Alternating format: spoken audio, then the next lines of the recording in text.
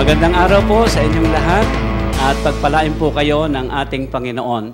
Ako po ay si Bishop Larry Cerda ng Door of Faith Christian Church International na nakabase po sa Binyan, Laguna.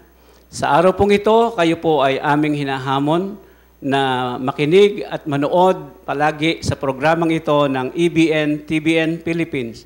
Sa inyo po na mga naghahanap ng mga katugunan spiritual sa inyong mga buhay, ang programa pong ito ang ah, tiyak na inyong kasusumpungan ng tunay na katanong, kasagutan sa inyong mga katanungan at tunay na layunin sa inyong buhay na gagabay hanggang sa katapusan. Salamat po at pagpalain kayong lahat ng Panginoon sa inyong pagpapatuloy na manood sa programang ito. God bless you all.